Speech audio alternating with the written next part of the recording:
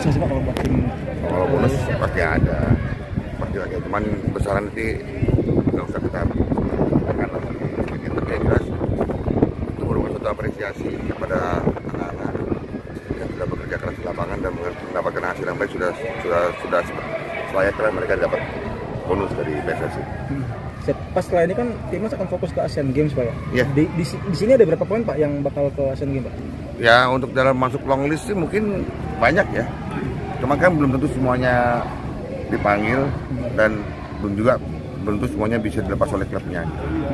Jadi tergantung nanti mana Coach Indra Safri bisa memilah-milah dan bisa win-win solution dengan pemilik klub. Mana-mana saja pemain yang bisa dibawa ke Asian Games, mana yang tidak bisa.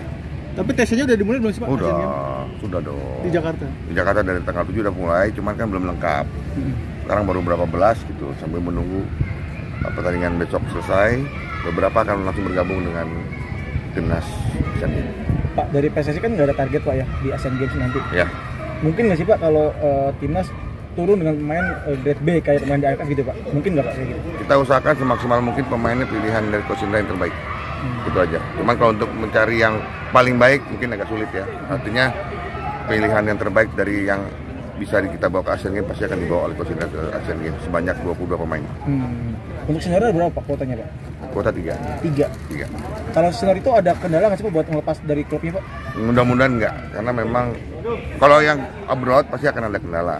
Mm-mm. Cuman kalau yang dalam negeri mungkin komunikasi sudah berlangsung sejak lama dari uh, beberapa hari yang lalu dan beberapa minggu mungkin dari Kosida ke klubnya masing-masing sudah ada komunikasi. Tinggal masalah perizinan dikasih keputusan dari klub yang masih kita tunggu.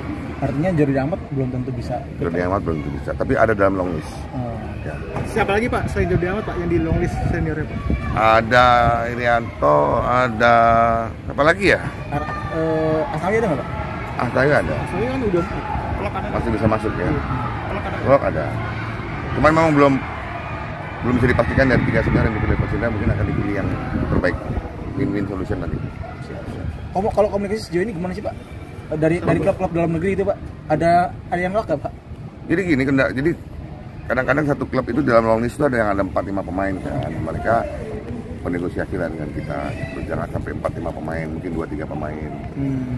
Mana klub-klub yang bisa melepas dua, mana klub yang bisa melepas tiga, atau bahkan lebih dari itu mungkin akan ditentukan nanti pada saat setelah AFC U23 ini. Terima kasih sudah nonton. Jangan lupa like, subscribe, dan share ya.